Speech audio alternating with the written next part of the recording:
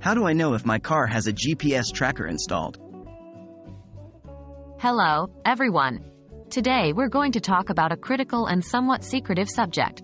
How to identify if your car has a GPS tracker installed. This might seem a bit spy movie-esque, but in reality, it's something that can happen in real life, and being aware of it can help you ensure your privacy. What is a GPS tracker? A GPS tracker is a device that uses the global positioning system to determine the precise location of a vehicle, person, or other asset to which it is attached. It records the position data at regular intervals, which can be stored within the tracking unit or transmitted to a centralized database. Where can a GPS tracker be installed in a car? GPS trackers can be installed in various hidden places within your car. They can be 1. Under your car. This is one of the most common locations due to ease of access. Look around the edge of your car, under the front and rear bumpers, and near the wheel wells. 2. Inside or under the car hood. A tracker might be hidden here, especially if it's a larger model. 3. In the trunk.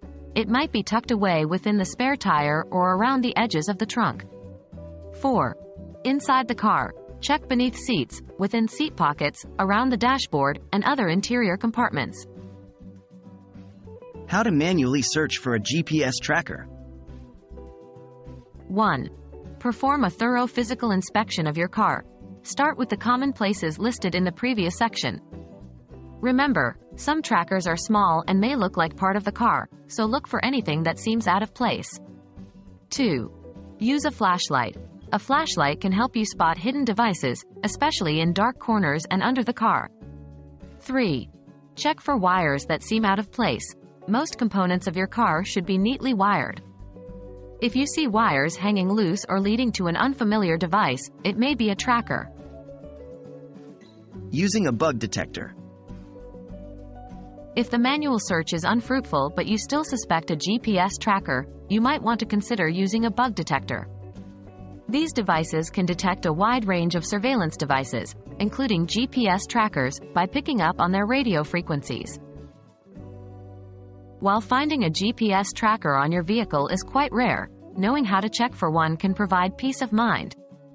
Remember to always respect the privacy of others and use this information responsibly.